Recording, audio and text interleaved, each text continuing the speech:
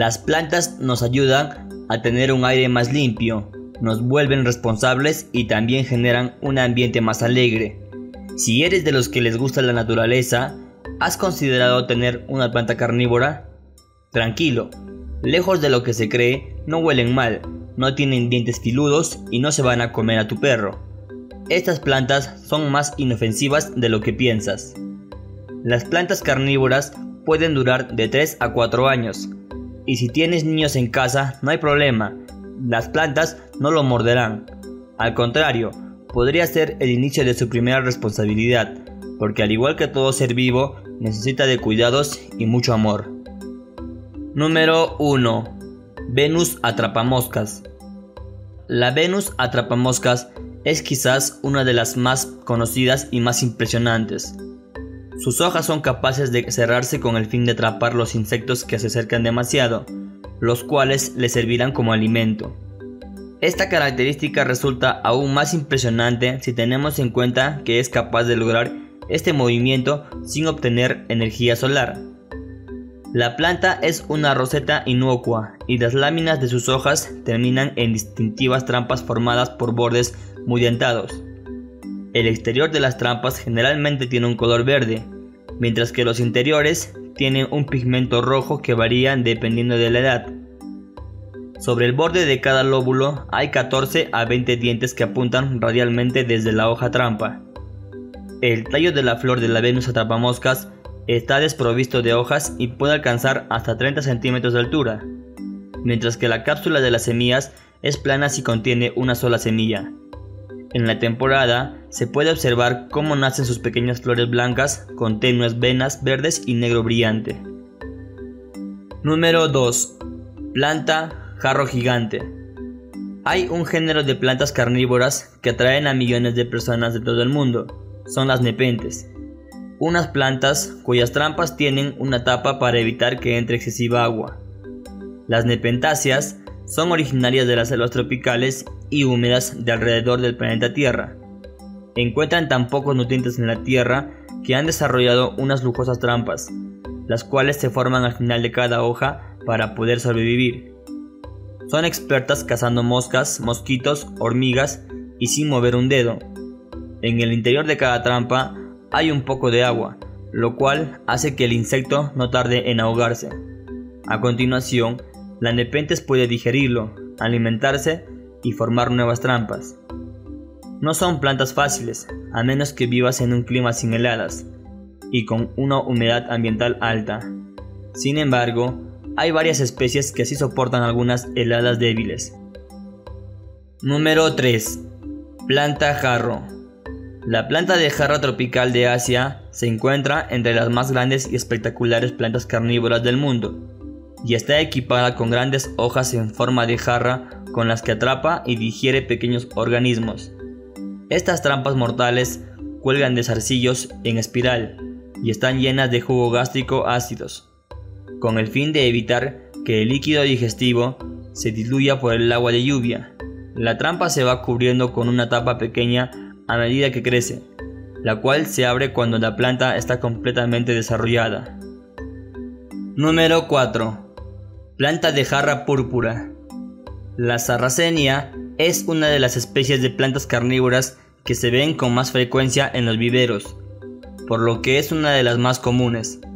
Y es que motivos no faltan, no crece tanto como otras, resiste mejor al frío y el color de sus trampas es realmente precioso. Pero por si fuera poco, sus cuidados son muy sencillos. De hecho, me atrevería a asegurar que cualquier persona, independientemente de su experiencia cuidando plantas, va a poder mantener esta carnívora por muchos, muchos años. Número 5. Rocío del Sol. Se la conoce como rocío del sol o hierba de la gota, debido a que sus hojas presentan unos pelos con unas pequeñas secreciones, tal como si fueran las gotas que aparecen por las mañanas, que atraen a los insectos y aquí se encuentra la trampa mortal para las infortunadas criaturas aladas. Estas terminaciones, ricas en azúcares, son muy pegajosas y el animal queda atrapado entre ellas. Estas glándulas son extremadamente sensibles. Cuando la planta siente que un insecto se ha posado, comienza a atraparlo con más y más gotas de rocío, hasta que el animal, exhausto y finalmente asfixiado, muere. Según los estudios de Darwin, el roce de una pata de mosquito ya es suficiente para activar los mecanismos de la drosera. Número 6. Planta arcoíris australiana. Estas hermosas plantas insectívoras, originarias de Australia, se conocen como planta arcoíris, debido a que su trampa para insectos consiste en gotitas de pegamento que en plena luz brillan en todos los colores. Además, todas las especies de la familia Bibliadaceae tienen unas bellas flores de cinco pétalos, que oscilan entre el blanco, rosado y violeta. Para el apasionado por este tipo de plantas, verlas desarrollarse constituye una verdadera recompensa, ya que son raras y escasas. De hecho, es un género que se encuentra protegido y algunas de sus especies son muy complicadas de reproducir artificialmente. Su cuidado no es tan sencillo como el de otras carnívoras, pero sin duda aquellos que tengan éxito obtendrán grandes satisfacciones. Número 7. Rocío del Sol común. Existen más de 100 especies y muchos híbridos. Este género es el segundo más grande de las plantas carnívoras, después de Utricularia. Dada su gran distribución, hay plantas de las formas más variadas y también con distintas exigencias en el cultivo. Sus hojas de las más variadas formas y tamaños están cubiertas de pequeños pelos glandulares, divididos en dos tipos.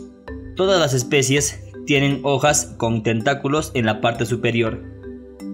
Número 8. Bromelias.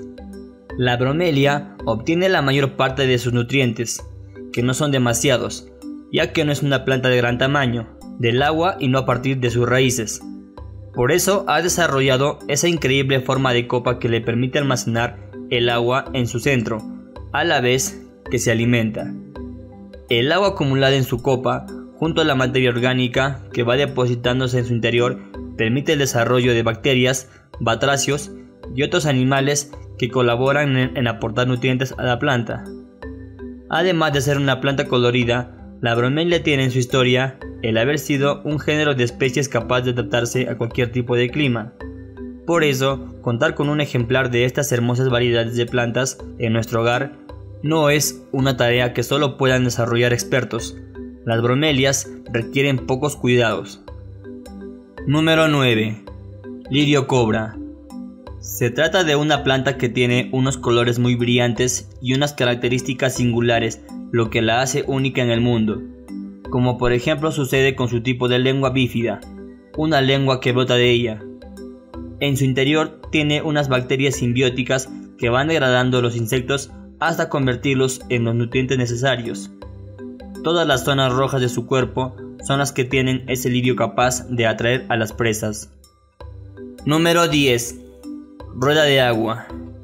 Se trata de una planta herbácea pequeña raramente supera los 20 centímetros, que se caracteriza por tener una vejiga notatoria, que le permite estar cerca de la superficie del agua para poder cazar a sus presas con sus pegajosas hojas. Posteriormente se las come con sus lóbulos rodeados de dientes, que también se encuentran en las hojas de esta planta. Una vez que se atrapa el animal, sumergen la trampa bajo el agua y poco a poco va absorbiendo sus nutrientes, su alimentación se compone fundamentalmente de pulgas de agua y de larvas de mosquitos.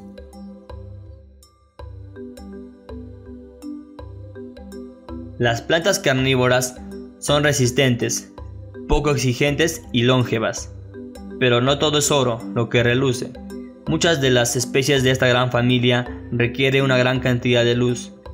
Algunos una temperatura específica y otras una maceta determinada. Todos los cuidados dependerán en gran medida de la especie que sea o del clima en el que se encuentre plantada. Las plantas carnívoras son muy codiciadas por los recolectores de plantas, justamente a causa de su belleza.